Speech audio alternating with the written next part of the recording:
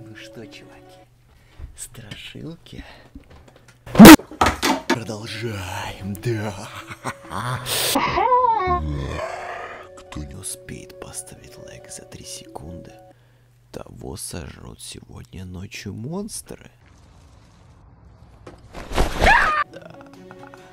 Три. Я не шучу. Два. Призраки! Я вас предупреждал. Один. Давай. Ставь быстрее, иначе будет страшно. Ставь быстрее.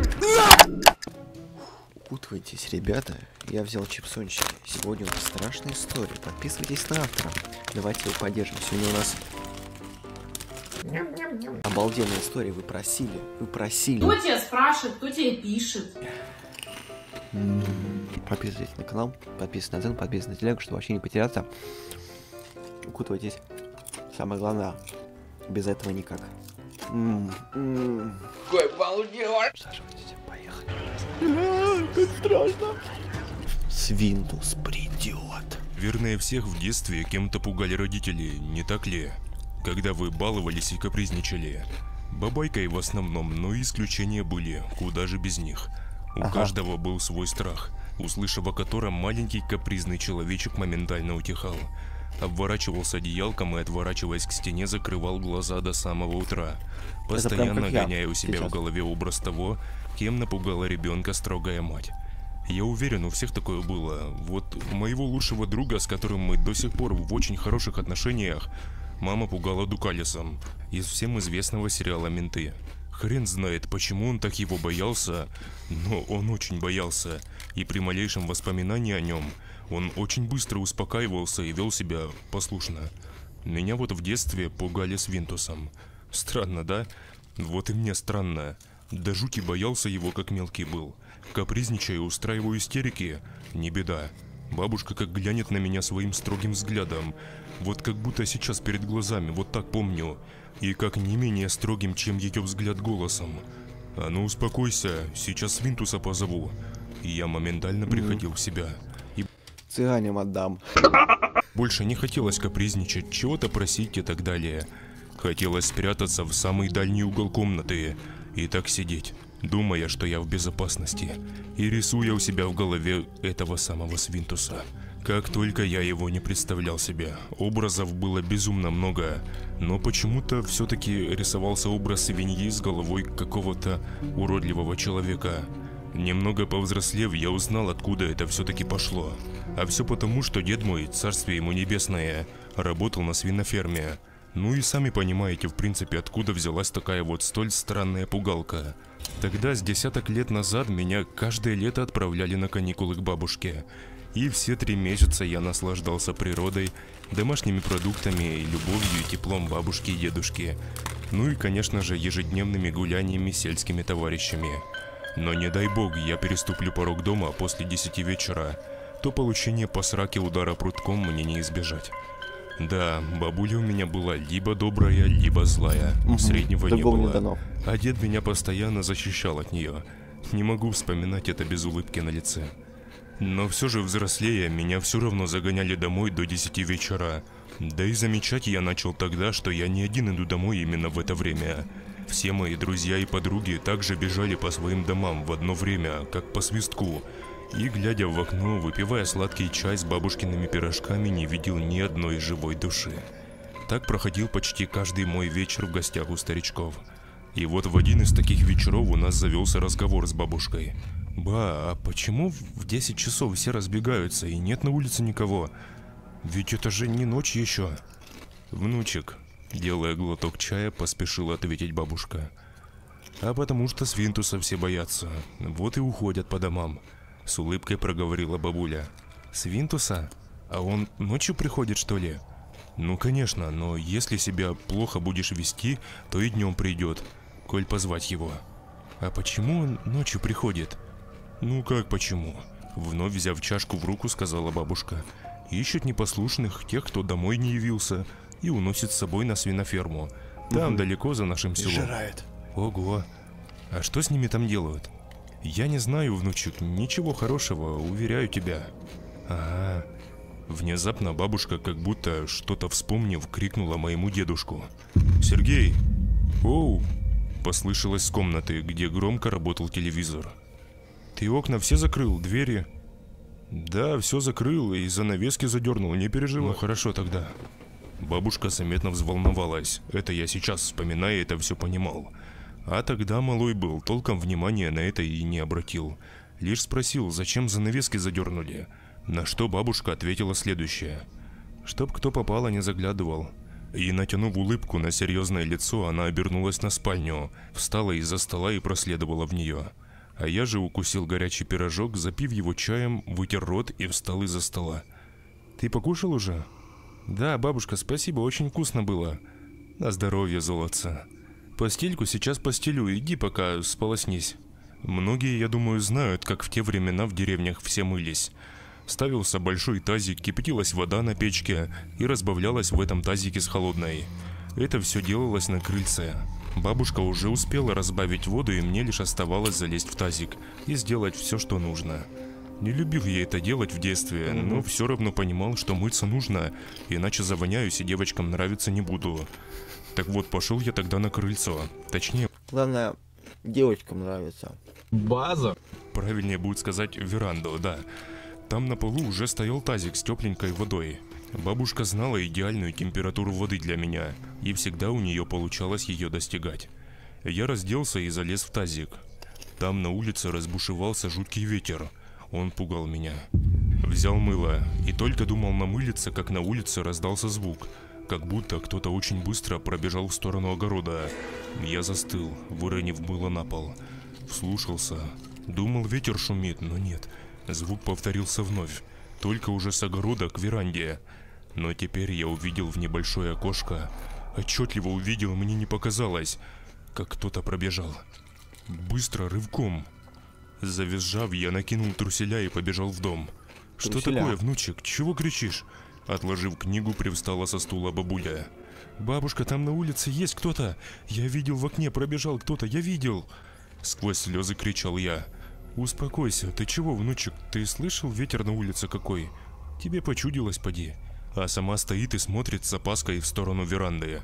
Потом говорит мне с уже довольно-таки обеспокоенным выражением лица. «Иди, внучек, спать, а я приду скоро». Я спал с бабушкой тогда, когда малой был. «Хорошо», — сказал я и покорно пошел в спальню. Но дверь не закрыл, лишь занавеску задернул, а сам стал у нее и подслушивал. Бабушка пошла в комнату к деду, и говорят они, значит. Дословно помню этот разговор. Бабушка говорит ему. Опять пришел, наверное. Что ему надо сейчас? А мне почем знать? А с чего ты взяла? Да Сашка прибежал в слезах весь. Видел, бегал кто-то во дворе. А ты оставила ему? Внезапно бабушка не сильно ударила себя рукой по голове. Забыла.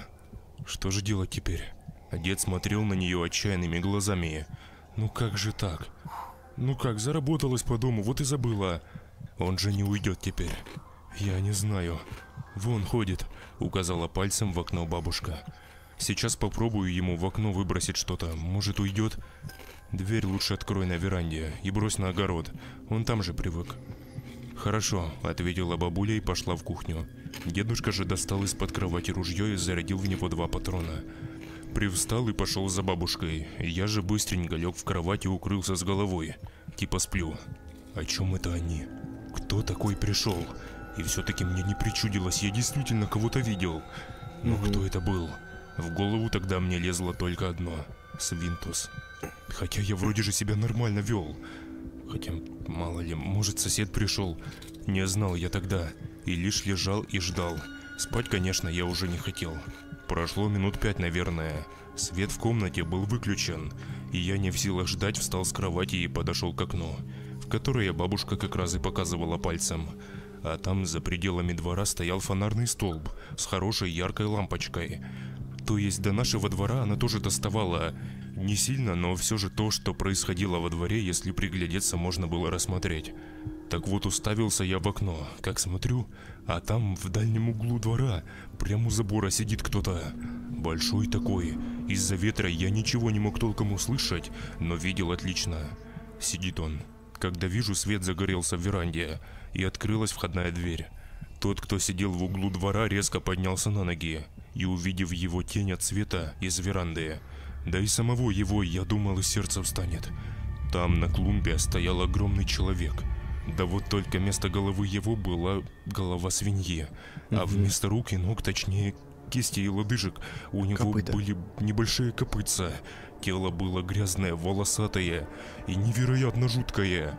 Я резко пригнулся, но глазами все еще подглядывал, что же там происходит. Что же это за существо такое? И вот помню, что это не маска была свиного рыла, а голова этой самой свиньи. Тогда оно потихоньку начало двигаться к дому. Бабушка же бросила что-то замотанное в грязную тряпку на улицу и прикрыла дверь. Существо же медленно, уже не бегая, подошло к этому свертку и своими копытцами пыталось развернуть его, мерзко хрюкая. Свет же на веранде не потухал, и именно благодаря ему я во всех деталях увидел весь этот ужас, происходящий во дворе. И все же спустя полминуты примерно оно развернуло сверток и начало оборачиваться по сторонам, как будто опасаясь кого-то.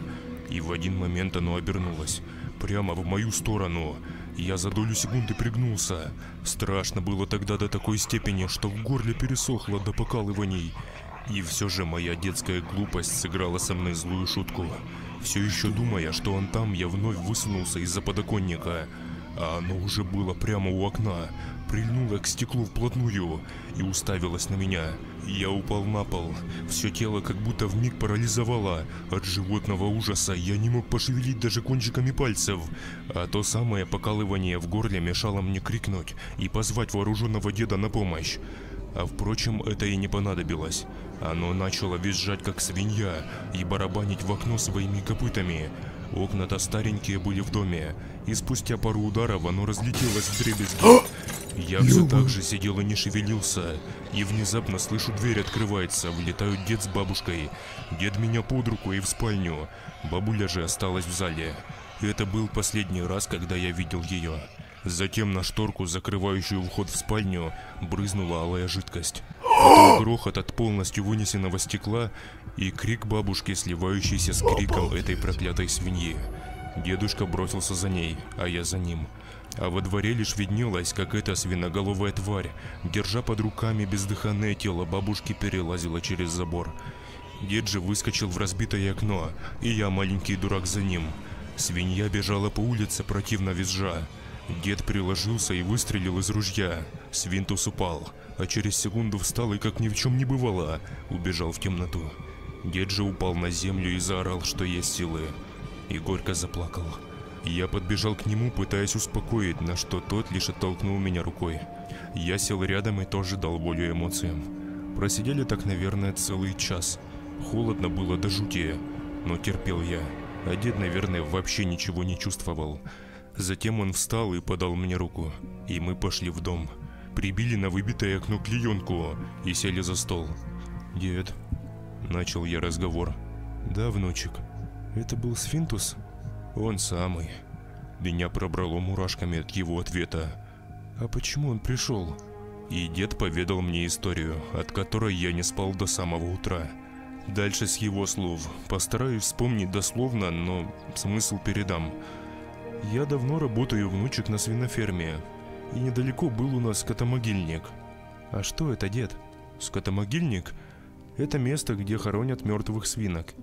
А, ну бывало такое, что свинка заболела и умерла. Ее туда и отвозили. Ну и спустя несколько лет оттуда появился свинтус. Ого. Его заметили люди на полях. Работали себе и тут на тебе идет по лесопосадке. Сначала думали, что разодетый дурачок пугает людей. Но когда начали эти же самые люди исчезать из деревни, тогда поняли, что это какая-то чертовщина. А находили пропавших мертвыми, далеко за деревней, даже дальше самого скотомогильника. Много людей он с собой нес. И из фермы, и из деревни. Вот так вот. Меня Вот не слабо напрягала история деда, и ручки мои вспотели от услышанного. Но это еще не все, продолжил дед, встав из-за стола и поставив на печку чайник. Свинтус этот перестал трогать людей, когда те оставлять начали во дворе какую-то еду. Кто-то картошку варил, да с отрубями мешал, кто-то мясо какого-то. Не брезгивал и мясом, забирал все и не трогал людей. «А почему он сегодня пришел, деда?» Перебил я его. а потому что бабушка не оставила ничего во дворе, забыла. Теперь я понял, что это был за сверток. Прокрутил я в своей голове. Вот он и напал на нас. Я думал из-за того, что я выглянул, пробормотал я. Э, нет. Он чувствует самого слабого и на него и нападает. Так бабушка же бросила ему еду. Уже поздно было, наверное. Не знаю. Он уж нападал на нас и не единожды. Ой. Вот я и приобрел ружье. Бедная Много бабуля. раз выручала нас с бабкой. Помянем. Дед взял в руки ружье и как будто обнял его. Завтра позвоню родителям твоим, пусть заберут тебя. Он еще раз придет, я уверен. Почему ты уверен, деда? Потому что он придет. Потому что отныне я не собираюсь ничего ему оставлять. Так он же нападет на тебя, дед. Взволнованно сказал я. Не переживай за меня, усмехнулся дедушка. Все будет хорошо, твой дед обязательно победит. Точно? Конечно, сказал дед и легонько потрепал мои волосы. Или он реально его победит? Будешь чай? Спросил он. Буду. Хотя от он положил пакетик в чашку и залил его кипятком. Ничего не До утра мы с ним чаевали и разговаривали, но про Свинтуса тема закрылась сама по себе. Лишь изредка дед, видимо, вспоминая бабулю, пускал скупую мужскую слезу. Шли года, я взрослел, и мне удалось забыть эту жуткую историю. Появились новые заботы в виде учебы, подработки и так далее. Все это время я очень редко посещал дедушку, и настал день, когда его не стало. Так, стоп, дед победил, что ли, Это произошло три недели назад. Да, прожил он долго после тех событий, почти 10 лет. За это время я был у него несколько десятков раз. Мы также чаевали и говорили по ночам. Но ту жуткую историю ни я, ни дед не трогали. И лишь когда я узнал о его смерти от мамы, я начал копать. И докопался до того, что узнал от мамы жуткие подробности о смерти дедушки. Суть в том, что деда обнаружили мертвым на крыльце с огромной раной на шее, а во дворе нашли свежие следы от копыт. Думать долго не пришлось. Я же знал, кто за этим стоял. Еще мама рассказала мне, долго уламывать ее пришлось. А ей соседка звонила и рассказала, что видела Свинтуса в тот день. Он и к ним заходил, как всегда. А дед, видимо, забыл, как и покойная бабушка, что-то ему оставить. Или специально не оставил. Он защищался. Рядом с трупом нашли переломанную двухстволку и две стреляные гильзы. Вот с этим я жил три недели. Переваривал все в голове до мельчайшей детали.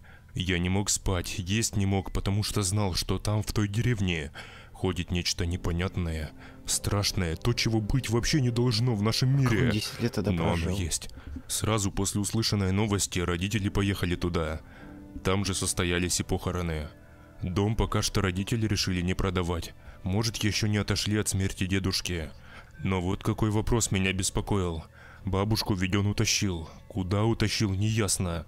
А деда оставил в доме. И все жертвы его были найдены хрен знает где. Почему он оставил деда дома? Непонятно.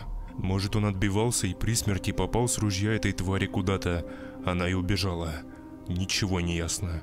И сейчас уже несколько дней мною двигает мысль поехать туда и выяснить всю правду. Да, завтра родителей дома не будет. Соберусь, оставлю записку и поеду. Как добираться туда, я уже в курсе. Так, а стой, будет еще вторая часть. Ничего себе! Ничего себе! То есть дед... А вот не знаю, кстати. То есть 10 лет не приходил Свинтус, а тут бац и пришел. Мне взяло где-то 48 часов как бы осознать вообще, что происходит. О, бабульку жаль. Ребята, Свинтус придет. Вот не придет, если поставить лайк. Ставьте лайк, никакой Свинтус не придет. Ребята, жмите смелее. Подписывайтесь на канал, подписывайтесь на автора, подписывайтесь на Дзен, подписывайтесь на Телегу. Не забывайте саму плейлисте со старошилками. Вам понравится, жмите на вот эту штучку, чтобы подписаться. Посмотрите вот эти видосы. Сверху специально вас. Один еще одно страшное видео, которое я для вас выберу. Тыкайте, вам понравится. А с вами был, как всегда, я, Райли. Здоровья, ребятам, счастья, успехов, всего самого вам наилучшего. Берегите обязательно себя и своих близких. Будьте счастливы, будьте, конечно, здоровы. Не смотрите старшилки ночью. Увидимся в новых видео. Пока.